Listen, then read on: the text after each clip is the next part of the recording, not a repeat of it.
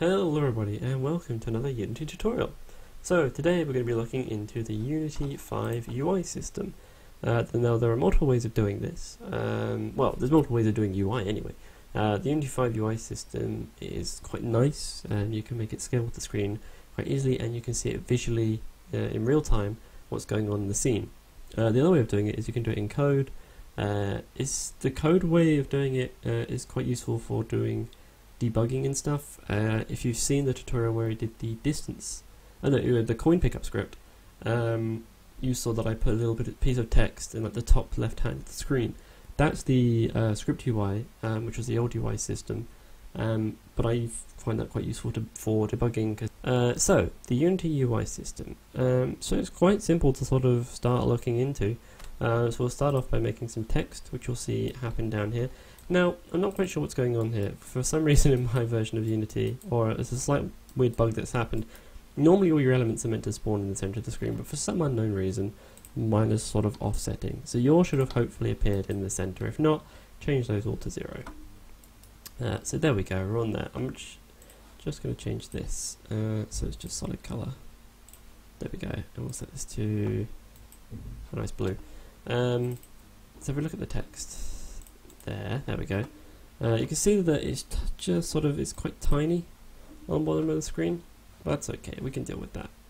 Um, what I'm going to set up first of all though is just so we have the UI sort of at least attempting to scale with the screen quite nicely. Um, we're going to do this. We're going to do scale with screen size. Now I've set up a screen size in here for 720p, which is 1280 by 720. Um, if you're developing your game, sort of, if you have a screen that's sort of uh, 16 by 9 and is 1080p or more or something like that, um, I recommend starting to develop your UI in 720. I don't know if any other person would recommend this. It's just the way I do it, so I can. Well, one way I can show it on one screen. I can develop for 1080 if I put it onto my secondary screen, but for the purpose of the tutorial, 720. Uh, if you want to add that, you literally just type in your width and your height one there and give it a name. I called it 720p uh, and it's a fixed resolution because uh, these are the aspect ratios there and then just sort of select that and then scale this as big as you can to see if, as, as close you can get to one um, one time scale and that way you can see it on your screen quite nicely.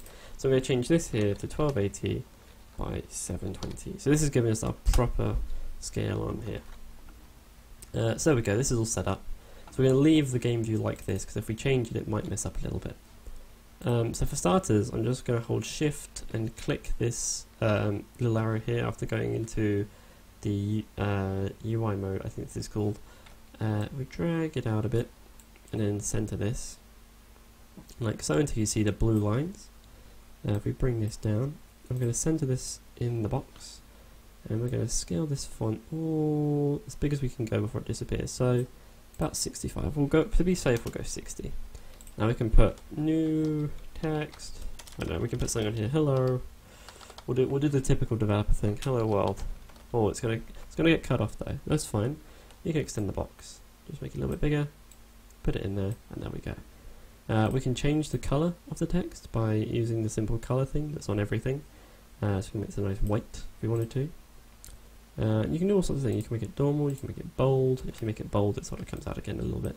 You can just move it a little bit. It'll come back. You can set different fonts. Uh, are all of these going to disappear? Yeah. Oh, that one didn't. Uh, we'll make, oh, okay, we'll be we'll be safe with this then. We'll we'll give this some more room so we can see what's going on. Um, yeah, you can use all sorts of fonts. I'm going to go to Sans Bold here because uh, yeah, it's the only one you can really go with. Um, there's another another thing we can do. Um, you can add an outline to this. You can see the slight outlines now been added. Uh, change the alpha value. So basically, there's it's transparent, so you can make it sort of bolder there. So you can see probably more clear actually to see it on here. It's got the black outline, which you can have there as well. Now, the one thing I'm going to do is I'm just going to put this up a little bit. I'm going to put this somewhere up here on the screen and then what I'm going to do is I'm just going to put these around the text, sort of these little lines, I'm going to drag them so that you have a box drawn around the hello world. Basically what it means is as you bring this down, it scales quite nicely and if I go into standalone, you see it saves roughly in the same position Um, you know, it's trying to stick within. Oh, that's a okay. That's a weird resolution. I wouldn't recommend that one.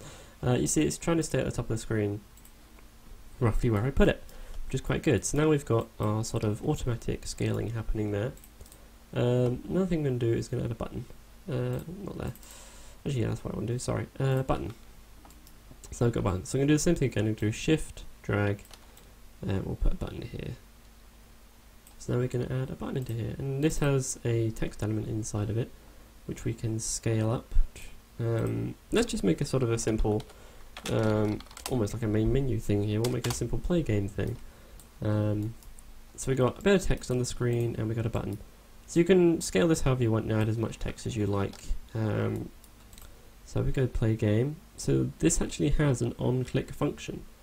Um, so what we can do here is we can actually, I can easily show you what you can do with the button. You can go, we drag the canvas in, uh, and you go game object, and you go set active, and we're going to say no, we're going to actually turn off the canvas once we click the button, we don't want it.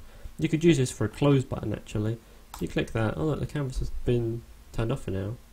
Um, and, you know, there's, there's it gone. It's just, it's just disappeared for now. Um, so there you go, that's a simple way. You can edit all the colours of what happens when you're when the button's in its normal state, when you hover when you've highlighted it or hovered over it, um, when you press it what colour it is and when it's disabled. Um, that's why see if I turn it to interactable it's now gone to this colour which is a transparent grey.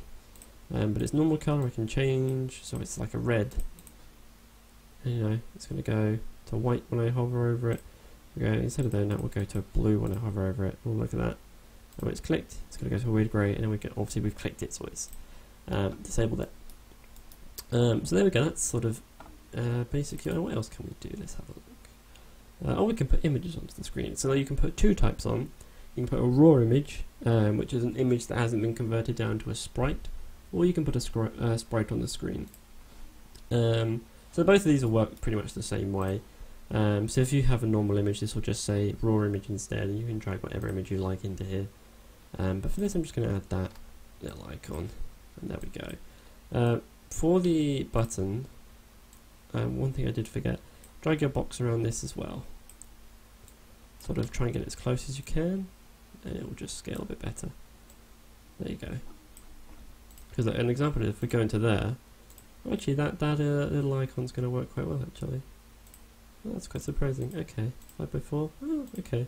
Sometimes you sometimes things scale well, sometimes things don't. But I tend to try and do this little trick of surrounding. I mean, because this one, that's what, what I'm talking about is this little thing here. Um, but it's getting its position from the center. It's, it's going right from the center. I need to be this far away, uh, roughly. Um, so that's what we're trying to calculate. So sometimes that works, but I found recently that surrounding it tends to work better. But it's up to you. You can fill around with these little um, position anchors and uh, see what happens. Um, so what else can we do? So there's that, I'll just show you the raw image as well, just uh, so you can see the difference. So you go raw image, um, so say, for this you can just use a texture or something. Um, so let's just use an image of a tree. So you can go into this mode again, press shift, or hold shift and prick it out, and there we go, got a tree on the screen.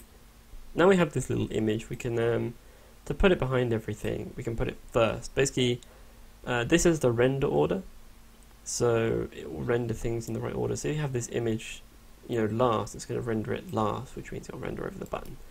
Um, so we're putting it last, and then we've got our little tree on the screen as well as everything else. And you hit that, and then it still goes.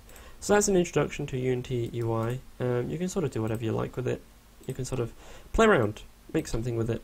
Um, you know, you can spin it around, you can do all sorts of things. Um, I will probably make a tutorial soon on how to make a sort of nice main menu um, with functionality using a script to call functions to do different things with the state change system and all some nice things. Um, if you have examples of sort of main menus you'd like me to recreate or uh, or just a certain look or if you've got a certain thing you need to do relating to UI, let me know I can see what I can do. Uh, so thank you very much for watching and I'll see you in the next tutorial. Bye bye.